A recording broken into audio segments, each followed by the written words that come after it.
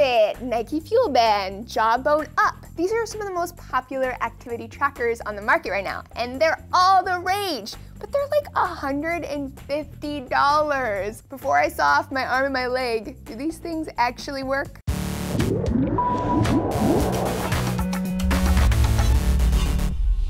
Hello, hello, DNews friends. Laci Green here. Activity trackers are those gadgety thingamabobs that track motion to help you better estimate how much energy you're expending each day. Like those old school pedometers that you could hook on your jeans, but juiced up with some technology and science.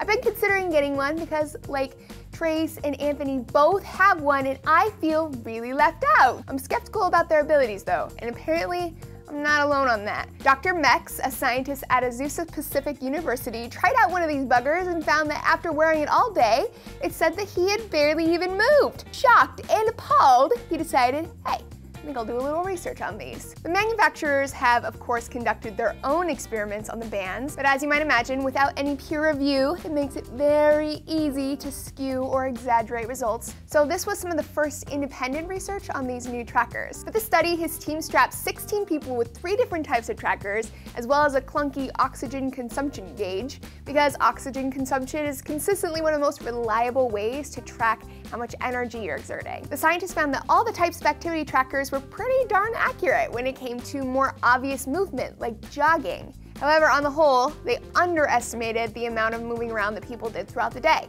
which I thought it would be the opposite, that the trackers would overestimate the number of calories you're burning. But in this study, as well as another one that was published in the Journal of Medicine and Science in Sports and Exercise, both found that daily energy expenditure was lowballed.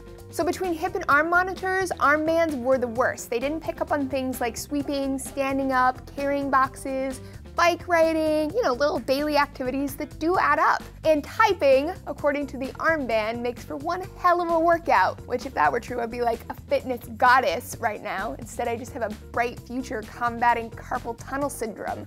Does this mean that the new generation of fitness bands are a gimmick? Personally, I don't think so. For one thing, underestimating energy output is more useful than overestimating. If anything, it's just gonna encourage me to move more, not less.